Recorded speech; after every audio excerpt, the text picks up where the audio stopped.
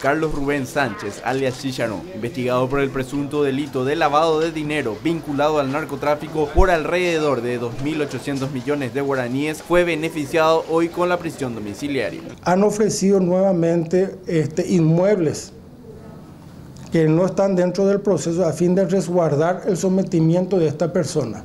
Y hasta que estas cosas o estos, perdón, estos elementos puedan ser corroborados por el juzgado, consideramos que es lo más prudente decretar el arresto domiciliario ya de esta persona. ¿Él va a guardar prisión en un domicilio aquí en Asunción? Sí, en la ciudad, en la ciudad de Asunción. Han constituido un domicilio, van a, va a pasar ahí y así también este, lo hace con control permanente de la Policía Nacional a los efectos de resguardar que realmente va a estar sometido al, al proceso y este, también se ha decretado la prohibición de salida del país por cualquier eventualidad, entonces este, es lo que el juzgado resuelve conforme a lo que dicta la Constitución y la ley.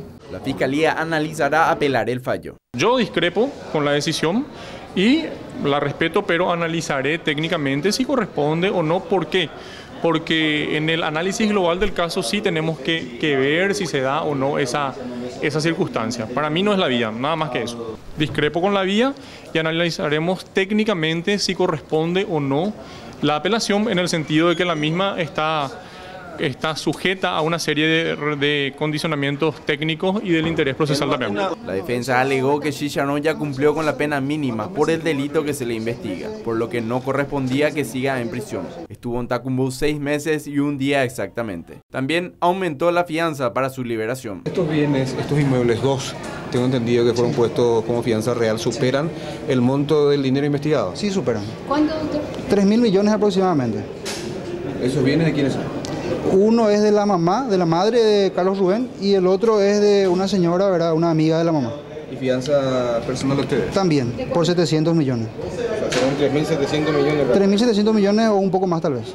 La defensa de Shishano además apelará a la prisión preventiva contra sus hermanos, Ardonio y el prófugo con orden de captura de Nilso. Este último además es intendente electo de Capitán Vado. Con imágenes de Fernando Altamirano informó Alejandro Acosta para ABC Color.